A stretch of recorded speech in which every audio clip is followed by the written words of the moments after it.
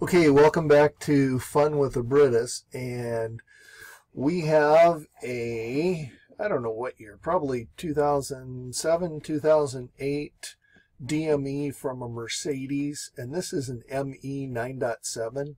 Um, these were actually used in a lot of vehicles, C-Class, um, the MLs, just a lot of Mercedes. And then we have a new used one. So what we're going to do, we're going to read the data from the original, save the file, then we're going to virginize, and then um, see if we can write the data to the new used one. So let's get started. We've got Mercedes open. We're going to go to DAS Manager. We're going to select Engine Control Unit.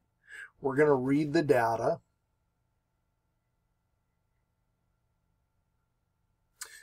Okay. We're going to read the coding. We're going to save that.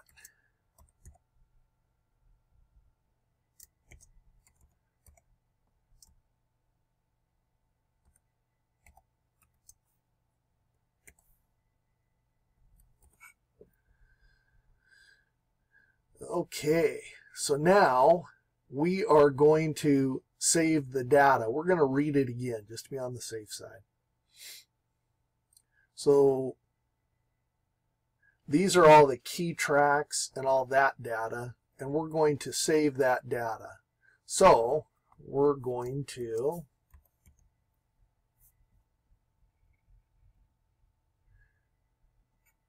this will actually, so let's see, um, data. Actually, it's DAS. DAS data. Okay, so we've saved that. Okay, so now we're good to go on that.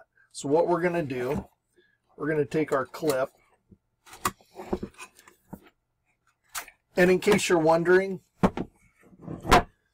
this cable setup actually is a pretty cool, it's called a Benz ECU tester. And actually I got it from fvdiobd.com.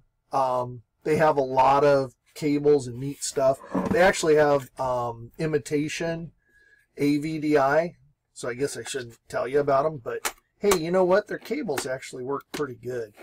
Okay, so now we have the used ECU DME hooked up. We are going to open DAS Manager, select Engine Control Module.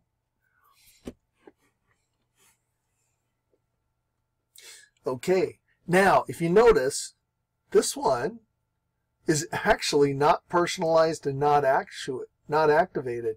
So this is actually already virgin.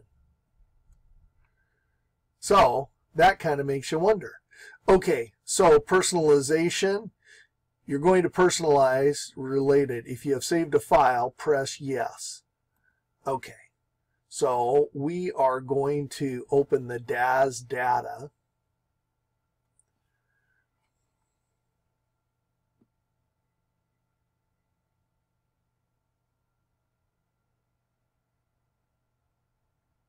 Okay, so personalization is done.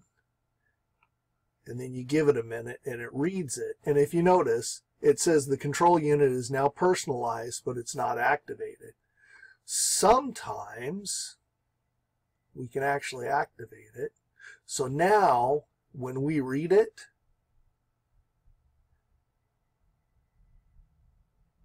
it'll actually show it personalized and activated. So now, just out of the fun of it, we're going to read the coding. And you notice the VIN number. And we're going to make this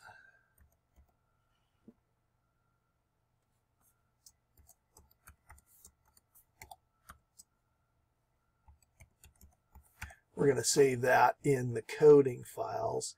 And if you notice, it saves it as a coding data file.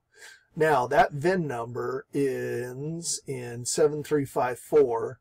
So now we're going to write coding and we're going to open up the original DME coding file, enter the VIN, yes, program. Okay, so now we're going to read the coding again. And we're not going to save it this time because we already did. But you notice it changed the VIN number.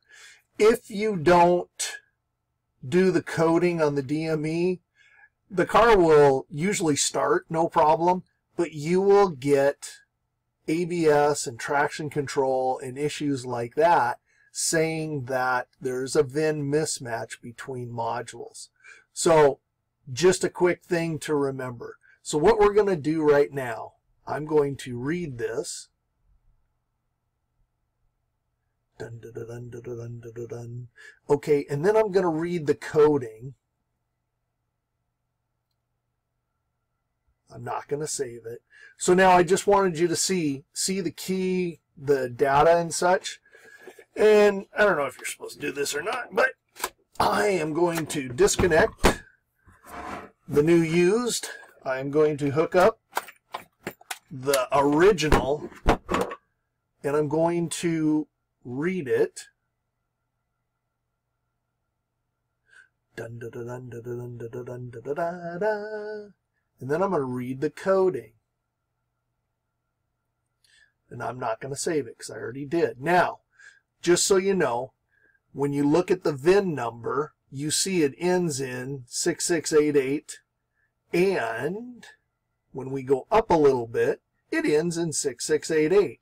Also, another thing, if you notice, the first key track ends in 041B. Guess what? 041B. Second one is AACD, AA. Our last one, key 8, is FAEC FAEC. So it ends up where we've basically moved all the data over. It has the same service key, so we're good to go.